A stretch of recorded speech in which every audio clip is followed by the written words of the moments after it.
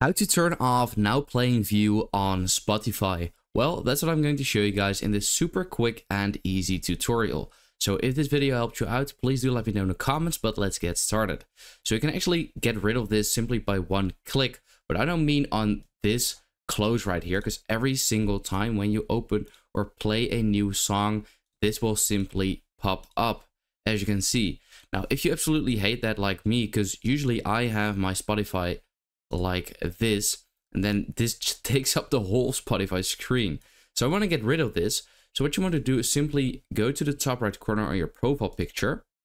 Then click on the settings. Then if you scroll just a little bit down under display settings, you can see show the now playing panel on click off play. Now if you turn this off, um, now this won't show up when you click play on a song. So let's just pick this song. Uh, let's just pick here a song. It doesn't show up anymore, as you can see. Let's go over here.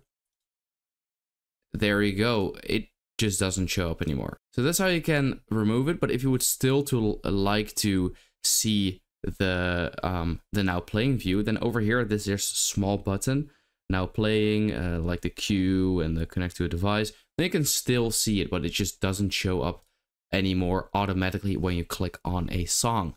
So I hope this video helped you out. Let me know in the comments if it did and then I will see you next time.